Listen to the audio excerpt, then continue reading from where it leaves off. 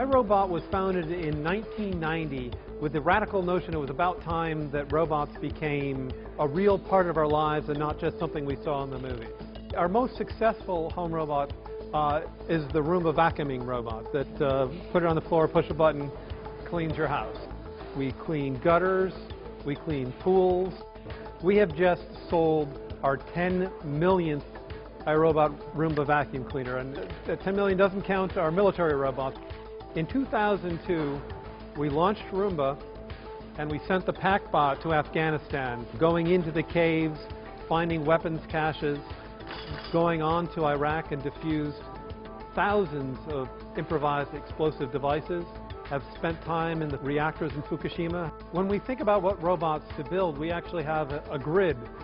How often you have to do a job and how much you hate doing it. And if it's often and disliked, that's a great robot product. That's where we focus on.